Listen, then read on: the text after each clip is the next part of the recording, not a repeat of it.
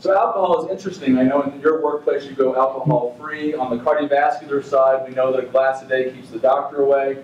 Obviously, it can lead to incredible social problems. And before we ever recommend that or discuss that, we talk about eye openers. Does it make people angry? Uh, have you tried to cut down? Those are reasons not to drink. Um, but of course, on the cardiology side, like this doctor here, my approach is non-traditional, but only from a Western perspective. A glass a day really does keep the doctor away. Depression, isolation, and anxiety have been identified as a huge risk factor for cardiovascular disease and mortality. I'm not sure we do a great job in uh, the workplace at identifying our coworkers who are depressed, who are isolated, and who are anxious. Um, we're all anxious. That's why we're here. We want our place to be better. Um, and we need constructive ways to identify these people and uh, to help manage them. There are lots of psychosocial stressors, stress at work, stress at home, financial stress, and these things all interact. We don't do a good job of taking care of ourselves.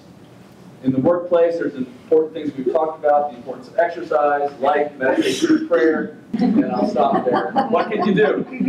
Stop smoking, an important message to give to our kids. We've got to watch our waistline. We need to relieve the pressure. We need to eat well, eat less, and we need to go out and play.